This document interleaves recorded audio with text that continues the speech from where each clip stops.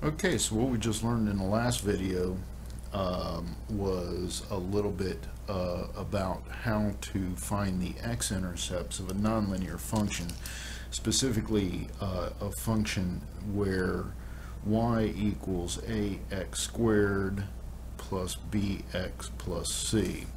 Uh, again, you can use the quadratic formula, which means x, or which is x equals negative b plus or minus the square root of b squared minus 4ac, all divided by 2a. Or you can use something called completing the square.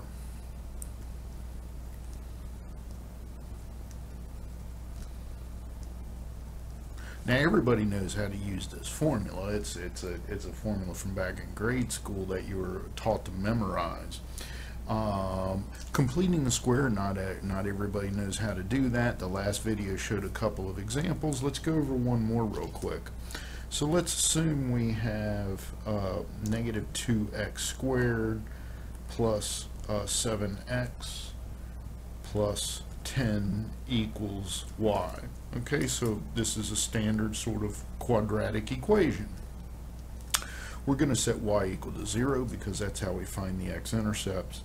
And we get negative 2x squared plus 7x plus 10 equals 0.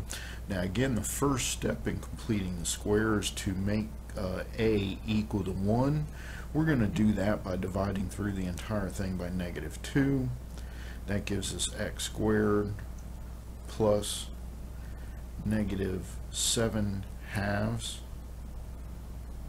x plus negative 10 halves equals 0.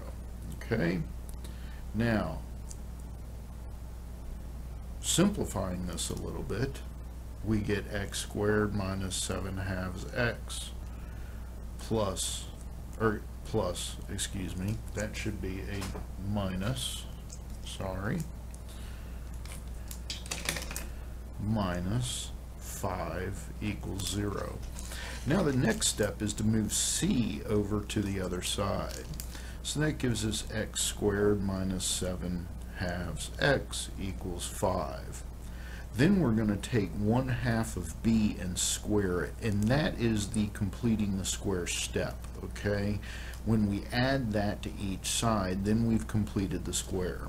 So first we need to take 1 half of 7 halves, and square it. Now again, because you're squaring it, you don't have to worry about the minus sign, right? Because even if you put a minus sign in here, it's still going to be positive. So that equals 7 fourths squared, which equals 49 over 16. Okay, so now we're going to add that to each side. That gives us x squared minus 7 halves x plus 49 over 16 equals 5 plus 49 over 16. So now we should have a perfect square on this side. It's just, what is it?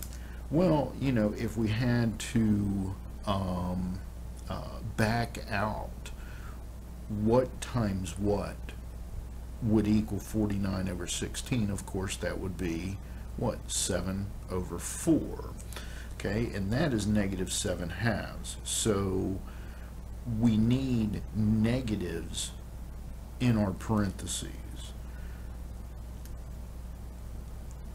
So our perfect square then is x minus 7 fourths squared. Okay. Now again, in order to double check this, what can we do? We can just FOIL that out. So that'd be x minus 7 fourths times x minus 7 fourths. What does that equal? That equals x squared minus 7 fourths x minus 7 fourths x plus 49 over 16. And of course, negative 7 fourths minus 7 fourths, okay, equals what? 14 fourths. But that can be reduced to 7 halves. So that's x squared minus 7 halves x plus 49 over 16, and that is exactly what we have here. So we know we completed our square properly. So then this equals, and we're, we'll go ahead and uh, uh, find a common denominator at this point. Um, 16 times 5 is 80. So that'd be 80 plus 49 is 129 divided by 16. Okay. Now we're going to take the square root of each side. So that leaves us with x minus 7 fourths equals plus or minus the square root of 129 over 16. So then what does x equal?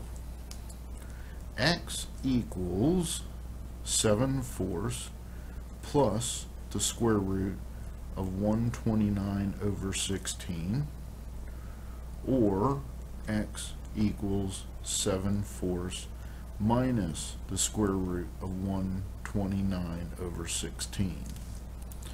Now this, that, according to my calculations, is approximately 4.58.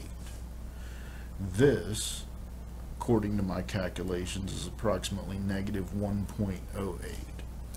So this, so x equals, so the two x-intercepts then are negative 1.08 and positive 4.58.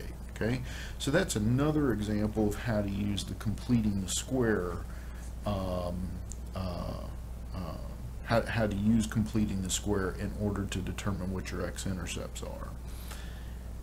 Here's the thing that nobody knows.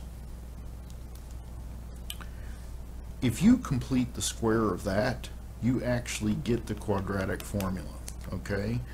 In other words, the quadratic formula is derived from completing the square.